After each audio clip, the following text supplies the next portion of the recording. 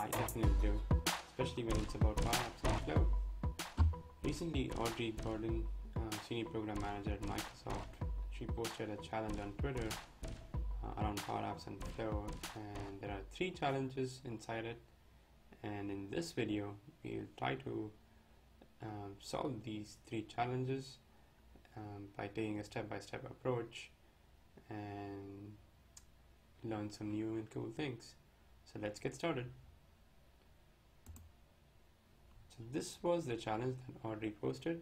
It uh, has three challenges and uh, there are some time limits for each of the challenge and we'll try to follow that um, uh, and uh,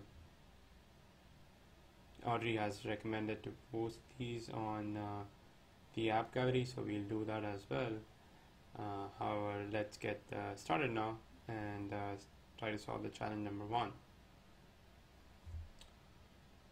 so this challenge is around uh, letting your users only read your data sources or read data from your data sources and not giving them the permission to edit it. And um, I think this is 100% possible. So let's click that and let's uh, um, move to kind of implementing this. So I went ahead and created some data sources uh, this um, it's just some uh, so this is my first data source it's Power App Swag. Um, this was uh, recently I got some swag from Audrie and um, Brian when they gave out these community awards. And uh, these are not the exact numbers I just randomly populated it. And I put a column over here as points required and I will uh, I'll tell you about that in a minute over here the second data source that I have is the user group participation. Now this one is uh, uh, these are also some random numbers and I put some uh, points till date uh, for these users. So my uh, idea over here is to have uh, the points um, keep adding the points for users in this column. And uh, when they meet a threshold they get qualified to get one of the swag items. And I haven't updated this and this is just random data but what we do is just so that we can see it in the Power App. We'll uh, say this is 15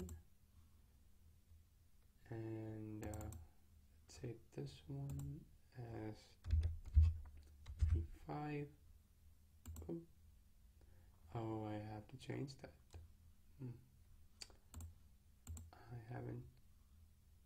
I put this as a 1 to 1 to 10 and I'll have to change the limits. Let me go ahead change this to 1000 just to be safe. And uh, we'll change John's point to 15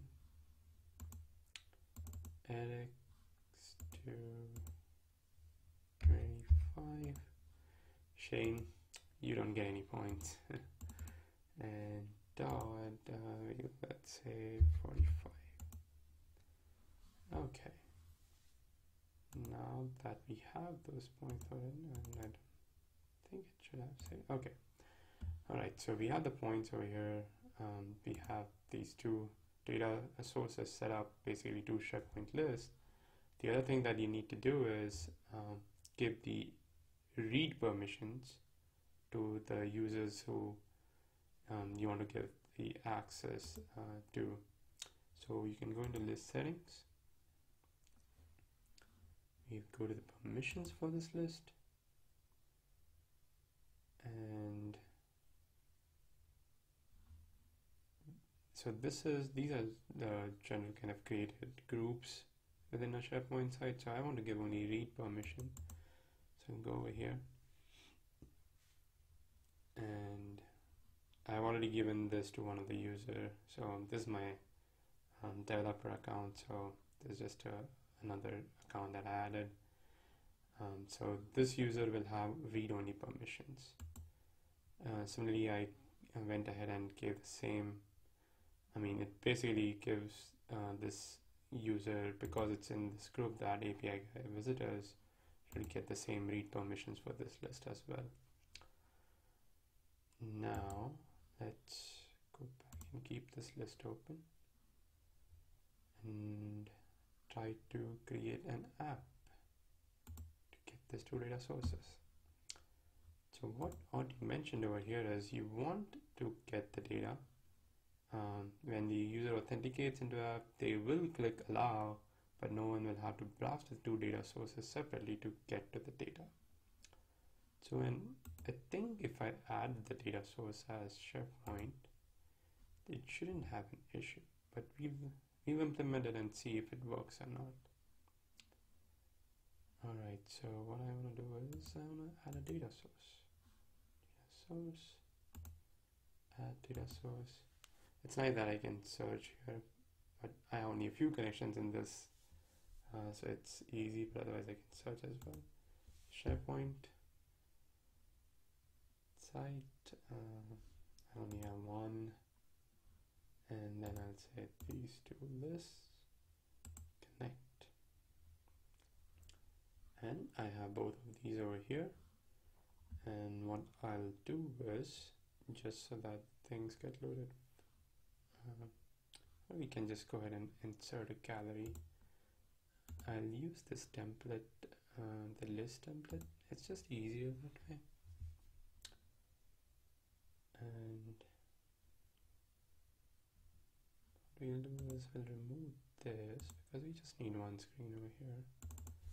This is one screen. I'm trying to implement some good naming uh, rules around it uh, so let's let's do that and let's have two lists over here. The first one you just copy it paste it. For some reason it created it has a long the height was more I don't know why it did that but um, okay. So we have these two lists and actually I don't want an image or anything so we'll just say title and subtitle and similarly here title and subtitle. Okay, so this list is uh, I want the user group participation. So we have the, the user name and the points that they have. And this one, just to start off, we would say it's Apps Swag.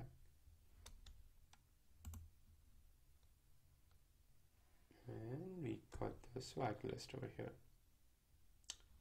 in fact I want the subtitle and body because I want the points required for it as a um, so what we do is we move this over here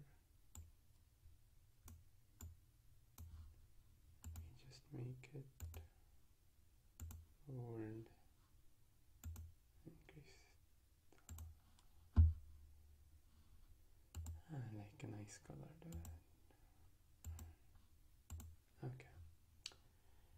Alright, so what I want to show here is for user, if they meet the points requirement, this list uh, should show only the, the swag that the user can get based on their points. So what we want to do is we want to filter this list based on the total points that this user has. So what we'll do is we'll go here, let's say filter, based on, so my filter is basically the user that I select over here. So that's the template gallery list one. Amazing name for a gallery. uh, list one dot selected dot and I want the uh, points till date. So these points should be greater than the what's the column name over here? The points required. So let's go here. Points required. Okay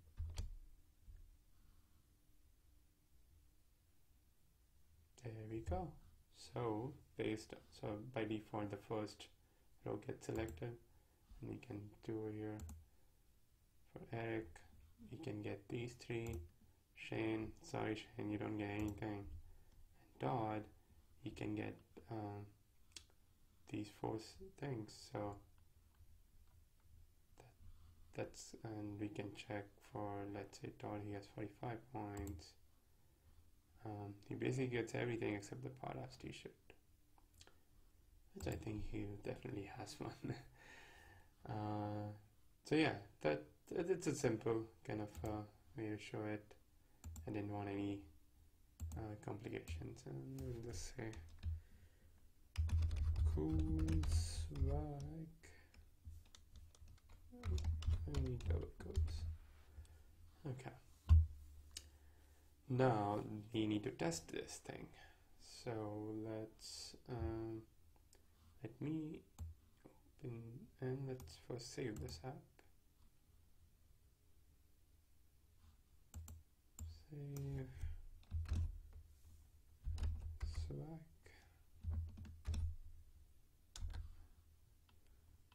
let's save again. There you go and you save it. Save. And what you want to do is you want to share this app now with the that user. So I think it should come the app over here. Okay I have the app here. Click on share. And we'll add the user feedback. Alright and I just want to have these two. I mean I don't want uh, them as a corner. So we give those permissions the permissions were changed successfully or saved successfully. Now we'll uh, this is uh, the user oops uh, right, there's that app. So the swag, we open it. Hopefully, it just says to allow.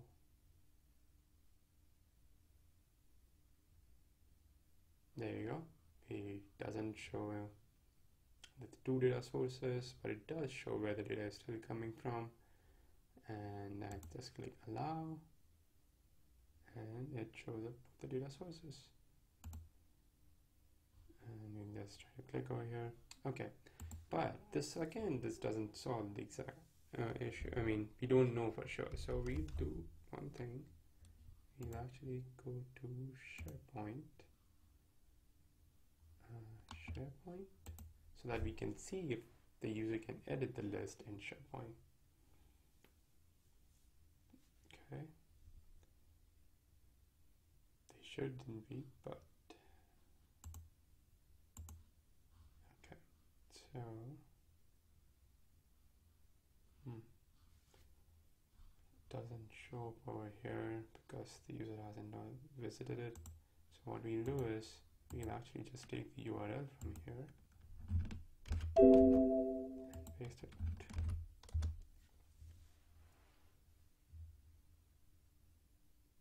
Okay, so there we go. The user list is shown here. I mean the, the list came up. Not now. And click on it. Yep. It doesn't allow it to edit. It doesn't allow the user. So you can't do anything. All right. So yep. We successfully did challenge one that was uh, creating some kind of two, da two data sources uh, which the user is only able to read and not edit. I still wasn't able to do this thing where they won't even see where the data is coming from.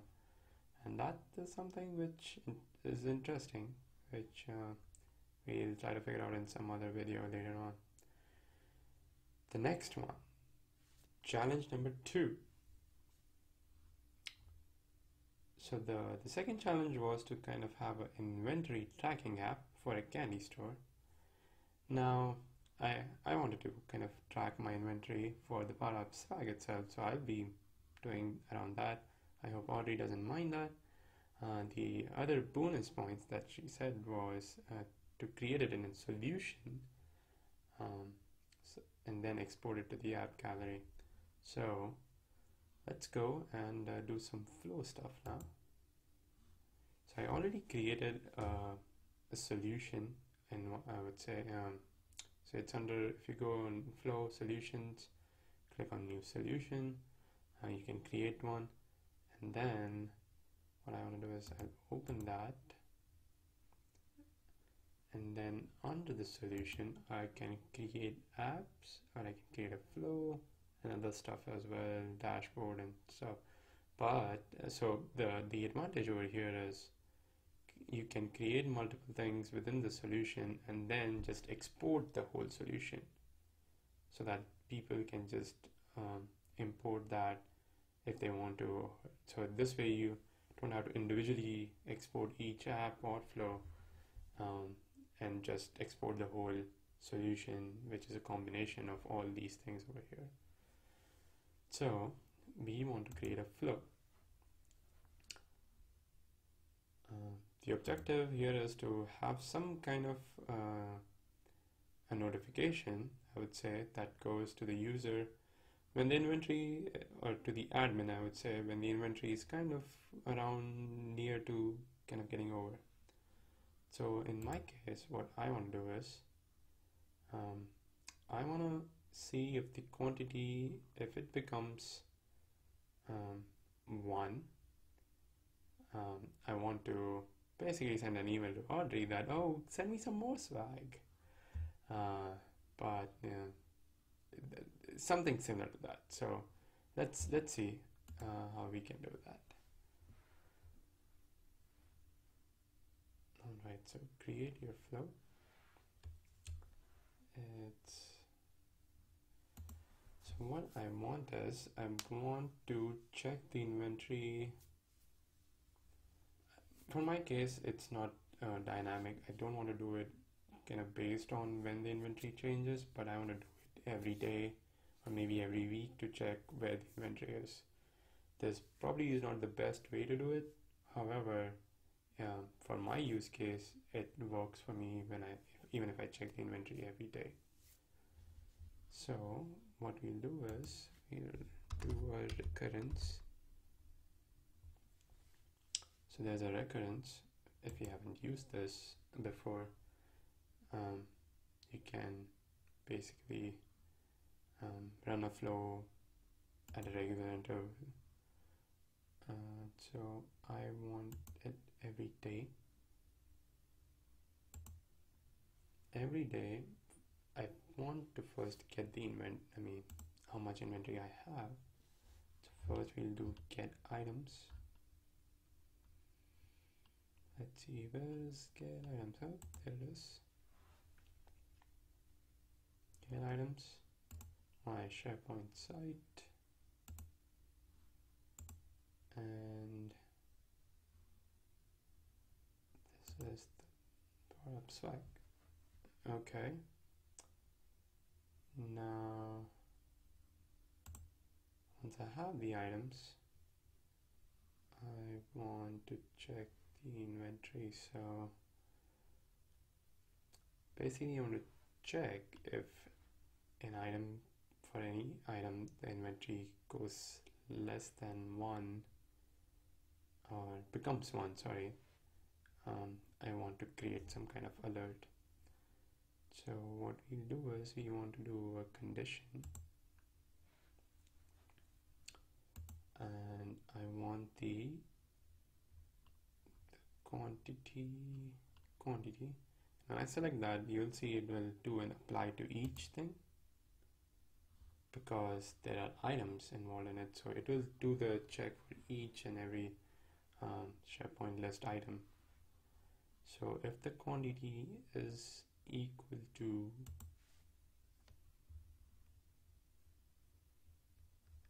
one. Add an action. For now I'll just say uh, send me a notification. Or uh, yeah send me an email notification. Email subject. Inventory swag. Almost over and I want the swag name because I want to know what is missing what is going to get over say title. Body um, say I guess I mean I can just copy the same thing for now don't know what else I wanted in this this is the most simplest version of this inventory tracking thing. I know it might be much more complicated for other stuff but yeah I think this is it. I just want to check if the quantity is going less than 1 or is becoming 1 at, at, any day if the quantity is 1 I want a notification. Alright I'll do save. And let's change the name over here. Did I create this? Oh yeah I did create this okay just making sure I'm getting the bonus points over here. Okay so let's give it a good name. Uh, inventory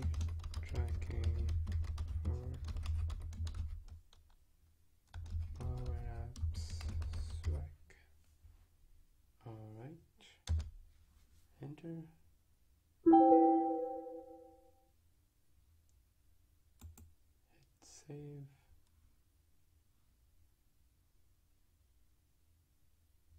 Mm.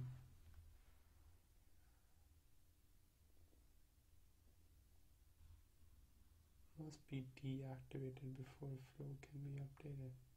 Hmm. Not sure what's wrong over here. Go back.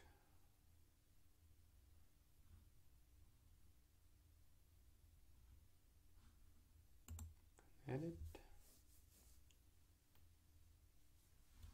There wasn't an issue.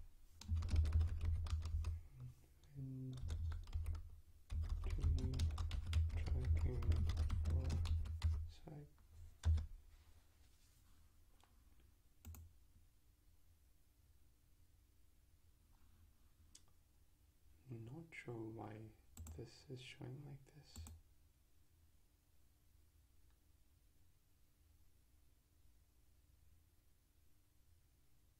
Hmm. Maybe we'll just give it a test. Uh, so from the trigger action, save and test. Hmm. That's really weird. What we can do is, oh, it already ran the flow because it's today. Huh. I think there's some issue with kind of changing the name. Let's see. So let me go here and I can show you the email that I got. So it said here swag almost over Power Apps Bluetooth speaker because the inventory for that the quantity is one I got the notification. So every day that flow will run and give me the notification for this item um, because the quantity is one. So Audrie, please send me more of these. okay, so yeah, here you go. Swag almost over. Alright, so challenge number two done as well. And let's see if I so if I go back my solution. We have the solute I mean the flow added over here and uh, I can just export. I'm not sure if it's managed or not. I guess managed. Exporting your solution. And while it does that alright so we have this over here and I'll be uploading this on the app gallery alright let's move to challenge number three. Okay challenge number three. So let's let's first have we would have to use power apps for this. Do we? Did we? I don't think so. You have to use flow for this. Alright, so challenge number three. Um, if this is, um, again, we're using Flow. So if you like taking pictures and if you want to add them um, into your cloud, um, you want to, I mean, this is one, you need to create a flow to do that. So you want to capture some details like the, the, the date, uh, the reason for the photo, uh, geographical location and anything that uh, anything else that you want to capture now for this we have only 15 minutes so I think we should uh, speed up this. All right uh, let's do one thing. Let's uh, go over here. What we'll do is we'll just create it in this this solution itself so that we can export the whole thing. So this is my second flow. This is for challenge number three. And uh, the first thing that I want in this flow is gonna be any guesses? The flow button for mobile. So manually trigger flow. And the two things that I need over here is one is the file itself the image. I would say I just want please select image or photo. No file space. Add an input again. I want to get some data as well like why why did you take this photo? Now this if you haven't used it you can give it a list of options over here. So I'll say first option fun family family and uh, what else? Power platform.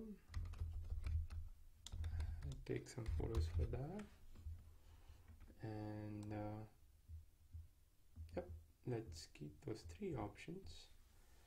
And the next thing that we want to do is we will so I created a document library in SharePoint I've selected. That has to be my uh, the cloud location where I want to store it. I have the, the name modified modified by is added by default. I added two columns that's location and y and that's something that we'll get from this flow over here. So what you're going to do is you're going to use the SharePoint connector. And I want to create a file first in the document library. So we'll use create file. So my SharePoint site over here is that API guy. And the, the document library was pics if you didn't notice over here pics and then file name. So this is something which I'll show you in a second. It's it doesn't come up over here the name of the file. Um, when you are kind of adding it from the flow it, it it will show up when we run the flow so I'll show you how to access that. For now we'll just put uh, some random thing. Let's just put date file content is the file content from the, the manual trigger. Alright so what we'll do is we'll try to run this as it is first. Save it. Let's and rename it to save photos to cloud and we'll test this perform the trigger action.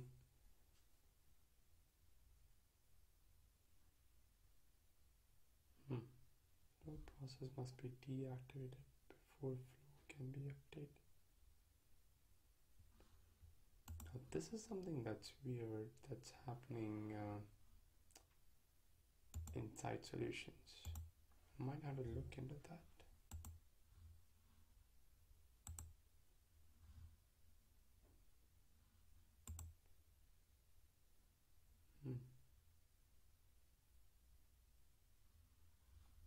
Guess we'll have to keep the name as it is for now. Um, let's run this.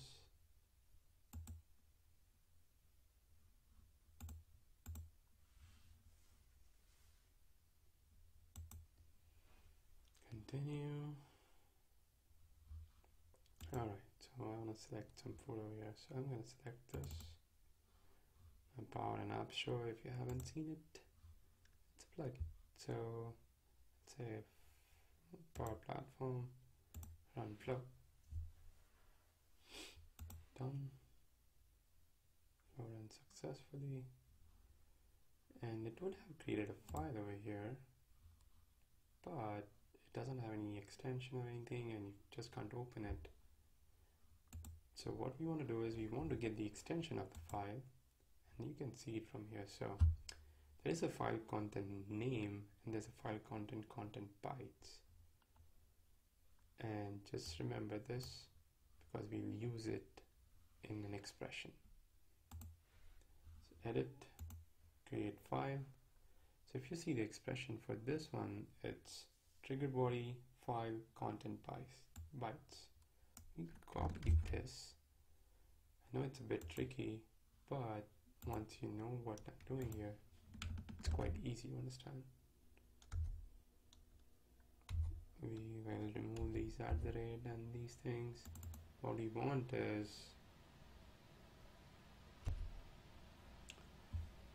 so what we want over here is we want the name instead of content bytes. Click OK. So we have created a file name with this name the content but we haven't it doesn't give the options to add the other properties the, the location the y. So what we'll do is we'll do what we add one more action and that will be SharePoint update item. So we'll use the update item action. That's all at the end. Again we select the SharePoint site. List name is okay so it's not in this because it's a document library so just have to name it. Use pix as custom value and you can see over here it showed up the the columns associated with it. Um, we need the ID so that is something that you can get from the create file. So this is the item ID and then uh, title is I think the title is already named from the file name so we don't need that. Location is something that we need. So we'll use the location city and state for now. You can always change it. And why? I had, select, I had created like three options family food fun and we can change it over here. Andy, I like taking pictures. I, I like making food and I like taking pictures of it. Uh, so what do is we do custom value and oh it says input should probably give it a better name but this is the thing that we want to load up over here so we'll click on save Okay, so what I did is I I created it out from a solution because I was having some issues with changing it, uh, changing the flow in the solution. So I recreated the flow, and let's say save photos to the cloud.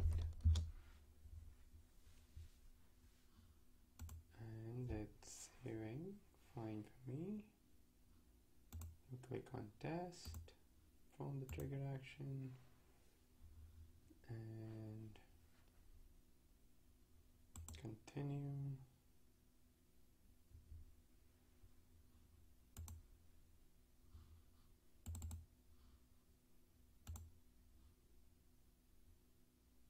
Say one I guess. Run the flow. Done. And flow ran successfully you should see that load up over here.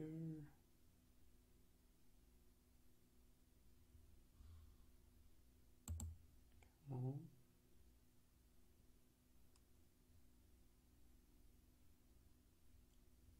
There you go. So we have the image selected. It opens up. It's loading there you go power naps wednesdays I'll close it it selected my location the y um, modified by and all that stuff. So that's challenge number three that we completed as well. I'll say gonna use this underscore yeah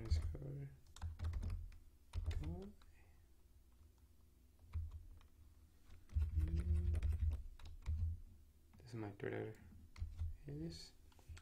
Do all challenges it took me let's keep it less than 30 minutes because we had some issues around this so let's keep it to less than 30 and did I put on?